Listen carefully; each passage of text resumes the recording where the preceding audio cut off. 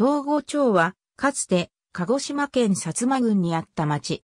1889年に、町村制が施行されたのに伴い、東郷五村の区域より、上東郷村として成立し、1952年に、東郷村に、解消の上調整施行。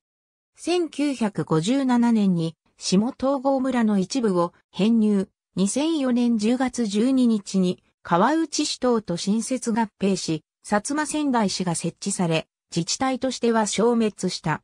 東郷町は、鹿児島県の北西部、薩摩郡の西部に位置していた。町域は南端を東西に流れる川内川とその支流が北部にある紫、小山系尾根より南方に向けて流れており、川内川とその支流が作った平野部に集落が多くある。町役場は、尾野淵に置かれ、その周辺に市街地が形成されている。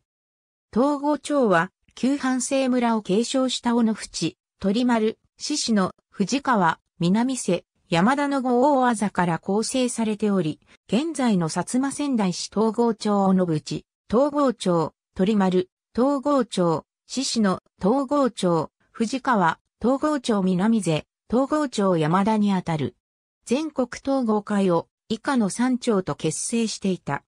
2004年の合併時は町内には高等学校が所在していなかったが、1987年までは大野淵に鹿児島県立統合高等学校が所在していた。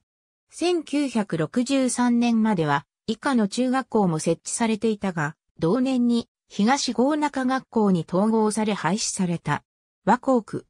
国道267号と県道46号が交わる東郷消化交差点旧東郷町内に高速道路等の建設計画はない。